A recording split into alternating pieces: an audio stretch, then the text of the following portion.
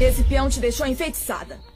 Mas eu vou tratar de quebrar esse feitiço. Só pra você saber, fui eu que enfeiticei ele. E não foi fácil, hein? Me deu muito trabalho. E eu só. Eu só conquistei ele quando. Quando o quê? Termina. Até onde você chegou? Quando o seduzi. Por favor. Tá. É melhor não ficar me fazendo confidências. Nós fizemos amor. Eu fiz ele feliz. E ele me fez muito feliz também. E não se arrepende? Não, de jeito nenhum. E depois dessa primeira vez, nós fizemos amor outras vezes. Ele é meu. Eu estou satisfeita e realizada como mulher. Você me dá nojo. Não sente vergonha? Ai, pelo contrário. Eu o amo tanto que até sem casar com ele, eu poderia ter um filho.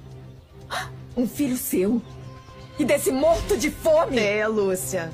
E eu vou ser muito feliz no dia que sentir esse filho palpitando dentro de mim. Porque aí Significará que o José Antônio é definitivamente meu.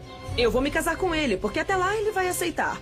Agora ele não aceita por medo, por temor, mas vai acabar entendendo o que eu sinto por ele quando Cala finalmente o nosso filho nascer. Ah!